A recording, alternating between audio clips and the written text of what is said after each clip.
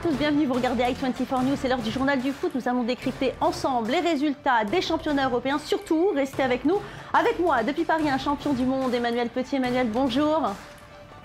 Bonjour Valérie, bonjour Lise. Merci d'être avec moi tout au long de cette émission. Il y en a eu des surprises hein, cette semaine, on va y revenir. Et puis vous, Lise Baramboum, bonjour. Bonjour. Alors vous avez tout lu, vous n'avez rien raté. On va en parler aussi dans cette émission. Allez, on est parti pour un programme 100% ballon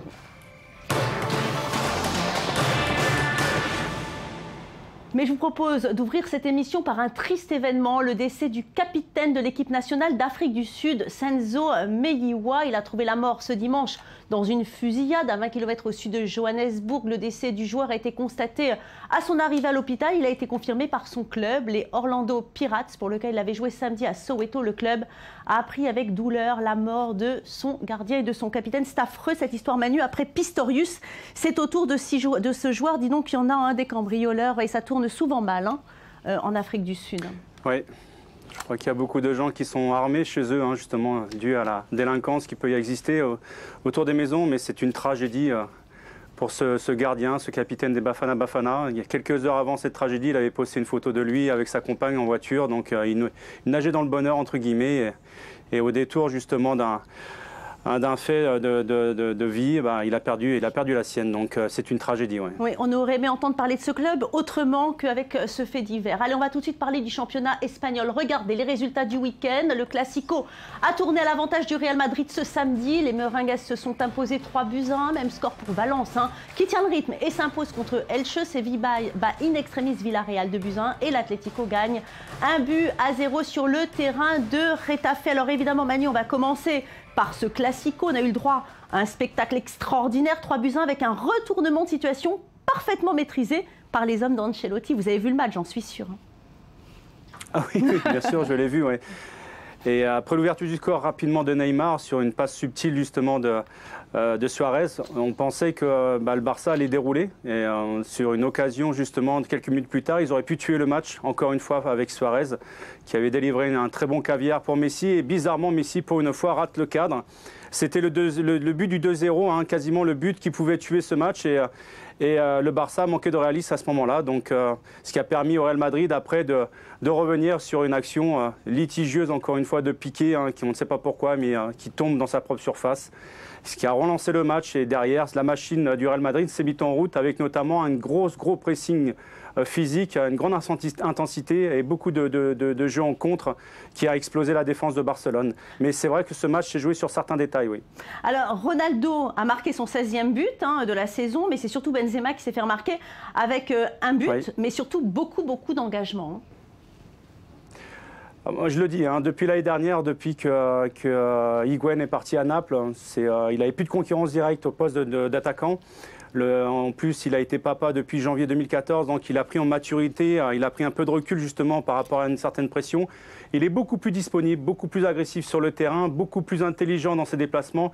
Il a un jeu beaucoup plus léché techniquement, déjà qu'il avait un certain bagage technique. Mais je trouve qu'il est vraiment au service des grandes stars qui sont à côté de lui. C'est un petit peu un lieutenant hein, euh, à l'heure actuelle au sein de l'équipe.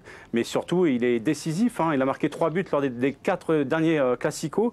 Donc c'est vous dire à quel point aujourd'hui Karim Benzema est un petit peu sur un nuage et il est en train justement de, de contredire un petit peu ses détracteurs, à juste raison d'ailleurs. Alors au Barça, c'est vrai qu'on attendait Luis Suarez, mais c'est finalement Neymar euh, qui s'est distingué avec un nouveau but.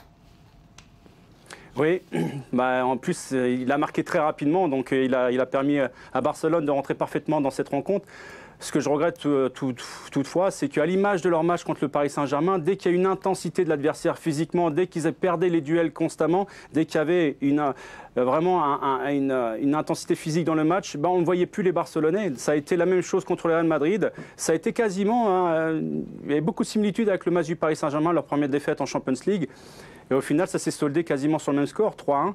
Mais euh, s'il n'y a, pas, a pas photo, à partir du moment où ils baissent le pied, donc ils ont affaire à une équipe qui joue bien au ballon, mais en plus qui met une, une densité physique dans chaque action, les Barcelonais volent en éclats. Donc euh, c'est à méditer pour eux quand même. Alors on a beaucoup parlé de ce classico dans la presse, évidemment Lise Barimbaum, surtout grâce ou à cause de ce casting de rêve.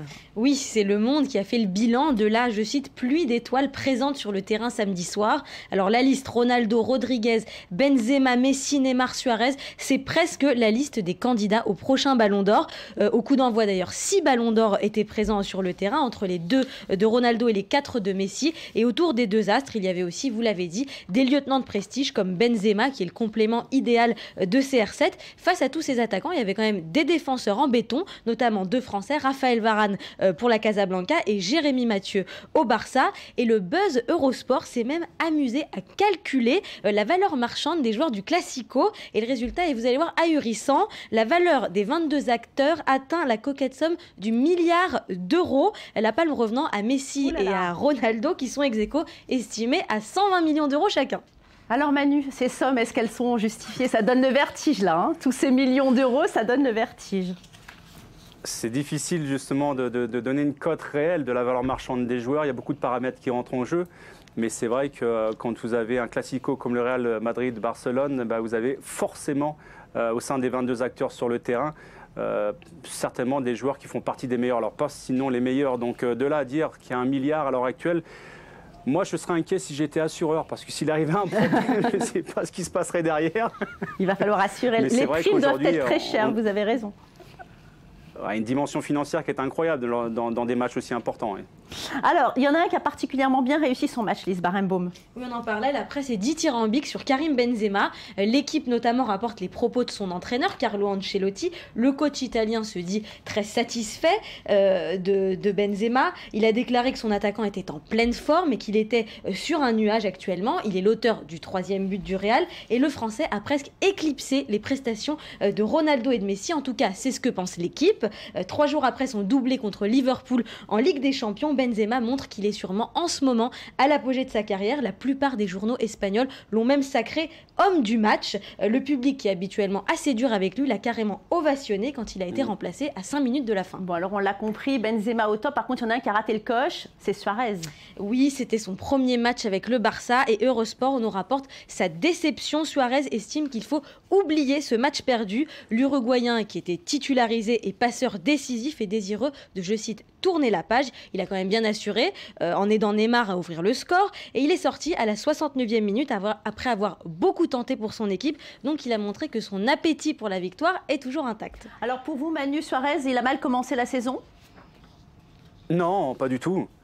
Non, non, vous savez, dans, dans la vie d'un joueur, c'est un peu euh, l'image d'un chien, c'est-à-dire que 4 mois, c'est énorme. 4 mois d'absence, c'est énorme. Vous n'avez vous avez pas idée dans les automatismes qui plus est, lorsque vous changez de, club, de pays, avec des nouveaux partenaires, c'est la première fois qu'il jouait de façon officielle avec, ses coéquipiers, donc la pression est complètement démesurée, dans un classico qui plus est. Donc, euh, moi, je trouve plutôt qu'il a, donné beaucoup plus satisfaction, à l'image de ce qu'a pu dire son entraîneur Luis Enrique. Il ne s'attendait pas du tout à avoir Suarez à un tel niveau tout de suite.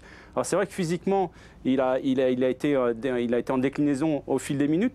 Mais quand vous regardez, vous analysez bien son match, disponible, toujours très intelligent dans les mouvements, dans les déplacements, essaie toujours de ne pas se, faire de l'ombre avec Messi ou Neymar, mais derrière décisif. Première passe décisive au bout de 4 minutes. Il a failli récidiver sur une deuxième passe sur Messi qui a raté le coche, une fois n'est pas coutume. Donc, euh, non, moi, je peux, au contraire, des, des, débuts satisfaisants et prometteurs pour l'avenir. Oui.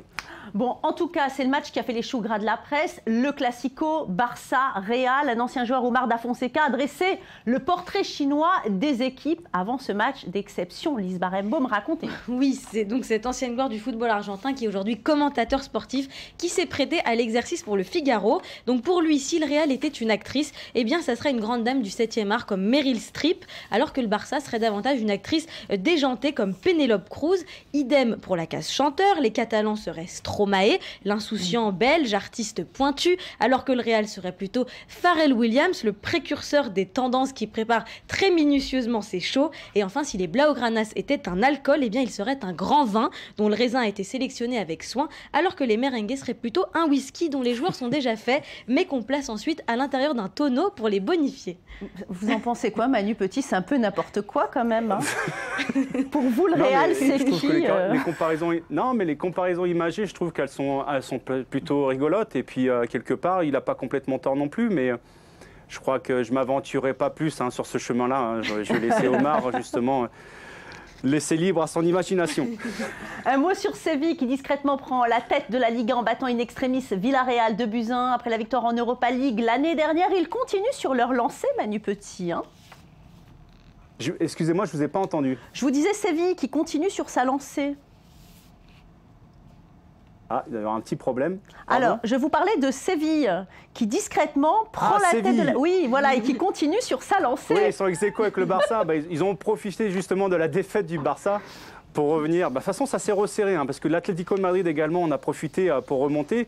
En fait, celui qui fait la plus mauvaise opération dans cette journée, c'est le Barça lui-même, hein, puisque tous ses poursuivants ont gagné 3 points sur lui, et donc ça s'est resserré au, haut du, classement. Justement, euh, le classement Manu. On va le voir tout de suite. Regardez, on va jeter un coup d'œil au classement. Ça se resserre en tête avec les 5 premiers qui se tiennent en 2 points. Le Barça et Séville partagent la première place avec 22 points alors que le Real recolle avec un petit point de retard. Valence et l'Atlético sont à l'affût avec 20 points. Allez, on va tout de suite passer au foot allemand.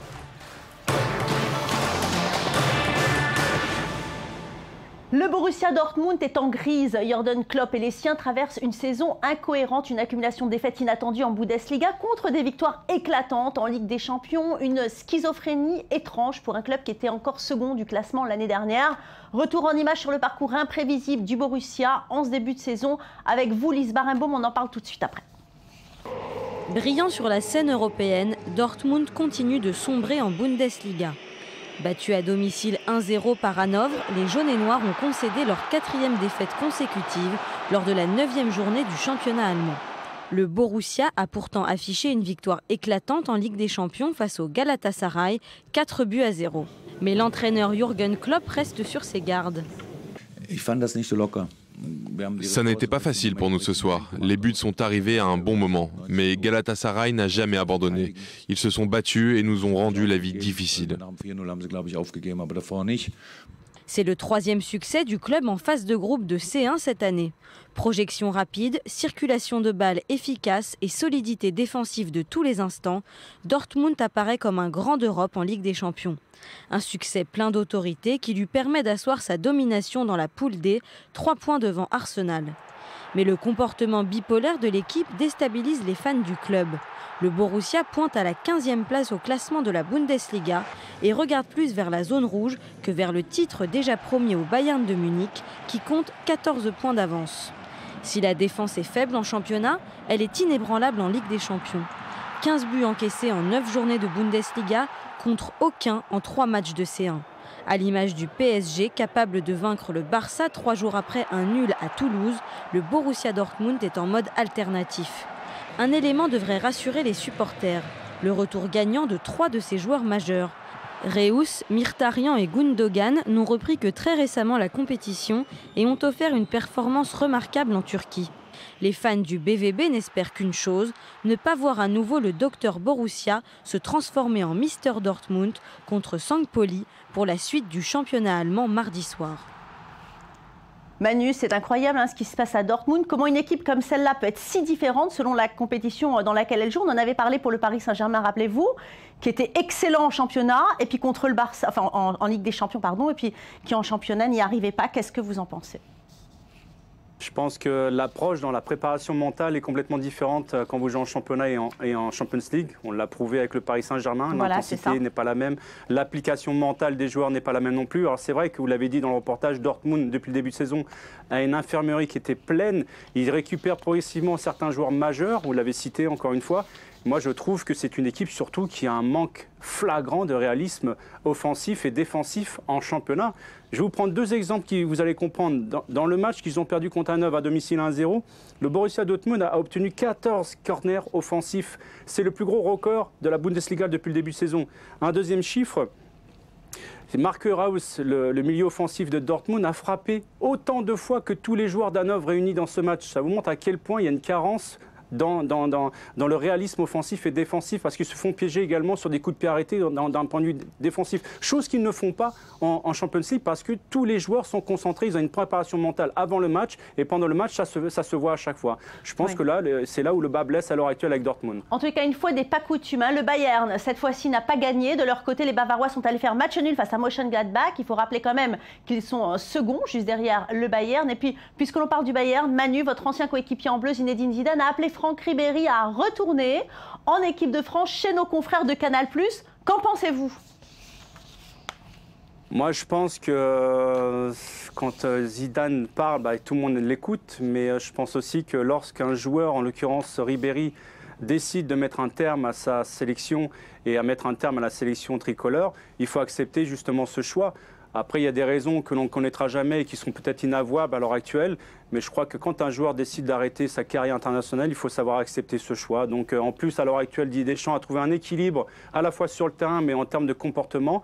Remettre en cause cet équilibre, ça ne, met, ça, ne, met, pas de côté justement tous les services rendus euh, de Franck Ribéry avec la sélection nationale. Je dis simplement qu'à l'heure actuelle, c'est très difficile de trouver un équilibre au sein de l'équipe de France. et avant, et avant de parler de Ribéry en, équipe de France, ça serait bien qu'il retrouve son niveau avec le Bayern de Munich. Merci beaucoup. Allez, c'est fini pour aujourd'hui. Merci à vous tous de nous avoir suivis. On se retrouve euh, demain pour encore plus de foot. Merci à vous deux. Manuel, à demain.